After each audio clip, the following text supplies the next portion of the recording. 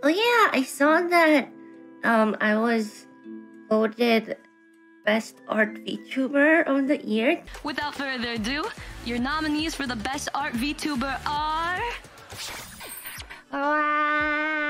So the quickest way to draw Takodachi that I've learned after drawing thousands of Takodachi.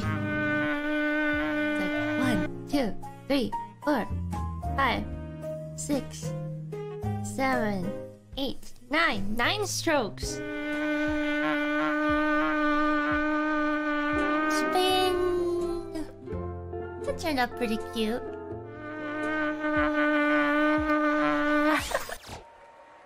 The winner for the best art VTuber is. Ina! Woo! Thank you.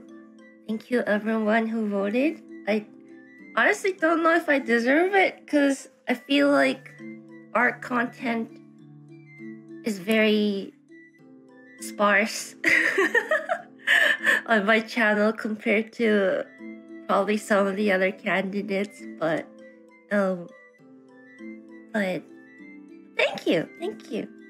Yeah, I feel like a lot of my art content is probably mostly outside of stream sometimes. I'm just the I'm just the VTuber that happens to do art not an art VTuber. At least not like a full art VTuber. Thing if if it's like a VTuber that happens to do art, I think that makes sense. But if I want to be an artist that wanted to do VTubing, I don't think I'd be here.